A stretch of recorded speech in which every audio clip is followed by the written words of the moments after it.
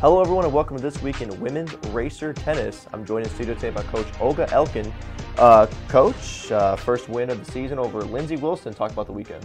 Yeah, the girls did really well. Um, you know, we're really excited. We've been waiting to play. So, um, you know, the girls came out there ready to play. We have a little bit of rule changes in tennis. So, um, instead of an eight game pro set, we actually just play a set. So, it's to six now. So, we talked a lot about doubles and how important it is for the girls to start off strong, and they did. Um, we ended up winning the number two and the number three doubles spot, both 6 1, so the girls did really well in that. Um, and then singles, I think we won five out of the six in the singles. All six players picked up a victory in the meet. Talk about all the players and what they, how they contributed to the win. Yeah, no, they did really, really well. We had a pretty um, solid singles lineup. We picked win- we picked up wins at one, three, four, five, and six. Um, and our two player battled out there really, really hard. She she played a tough player, um, a little girl from Colombia, and I think she lost four and three.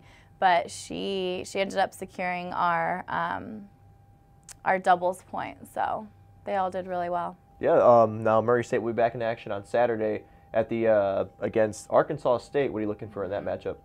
Um, Arkansas State is always extremely, extremely tough. I don't think we've had a win against them in a while. Um, we saw them in the fall, and they're also a very, very good team. Um, a couple of our girls played a couple of their girls in the fall, so um, we just got to come out there, compete. That doubles point is going to be huge for us um, on Saturday because it should be a pretty close match.